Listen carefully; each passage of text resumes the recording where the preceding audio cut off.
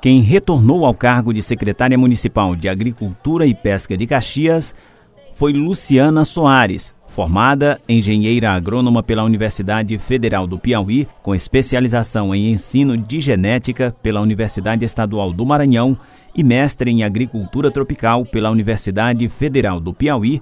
A gestora foi nomeada pelo prefeito de Caxias, Fábio Gentil, em abril de 2018 e por quase três anos desenvolveu um trabalho que elevou a capacidade técnica da agricultura do município, com a construção de parcerias importantes com a Embrapa, capacitação de trabalhadores rurais e a administração de projetos importantes como produção de ovos caipiras, assistência técnica, distribuição de sementes e o Programa de Aquisição de Alimentos, o PAA.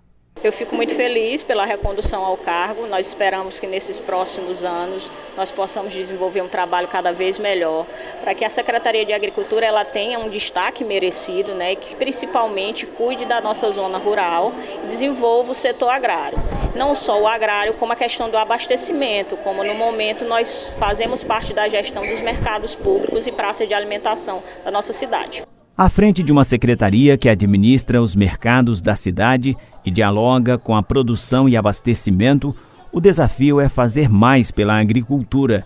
Nesta terça-feira, a secretária esteve reunida com os trabalhadores do Mercado Central como parte das atividades da nova gestão. Ou seja, a partir de agora, é mão na massa para mostrar muitos resultados. Hoje em Caxias são 825 povoados, só aqui no mercado são quase 600 boxes, em torno de 400 permissionários. Na praça de alimentação vai mais de 20. Então, assim, são pessoas que a gente tem que trabalhar dia a dia para que cada vez melhore, seja na questão do atendimento, na questão da limpeza e principalmente o desenvolvimento da agricultura, para que essas pessoas possam estar abastecendo o nosso mercado.